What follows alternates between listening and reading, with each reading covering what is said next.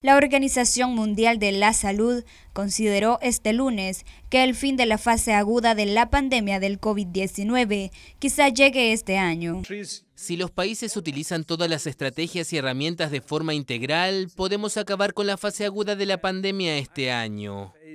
Aunque el coronavirus provoca actualmente una muerte en el mundo, cada 12 segundos.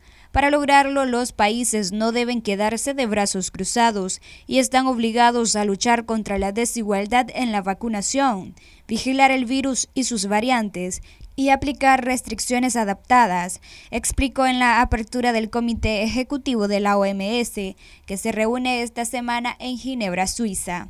Por otra parte, advirtieron que es peligroso suponer que la variante Omicron será la última variante, porque las condiciones son ideales en el mundo para que las variantes surjan, incluso otras más transmisibles y virulentas.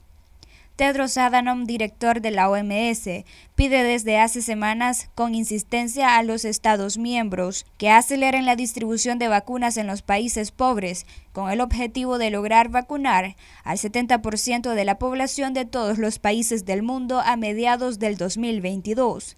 La mitad de los 194 Estados miembros de la OMS no lograron el objetivo de llegar al 40% de la población vacunada a finales del 2021, según la institución. Mientras tanto, el coronavirus sigue cobrándose vidas. En promedio, la semana pasada se reportaron 100 casos cada 3 segundos y alguien perdió la vida por el COVID-19 cada 12 segundos. La aparición de la variante Omicron en noviembre ha disparado los casos. Desde entonces se han contabilizado un total de 80 millones de nuevos contagios, pero hasta ahora la explosión de casos no se vio seguida de un aumento de las muertes, aunque los decesos han aumentado en todas las regiones, sobre todo en África, la región con menos acceso a las vacunas, según el responsable. Para Noticias 12, Luisa Centeno.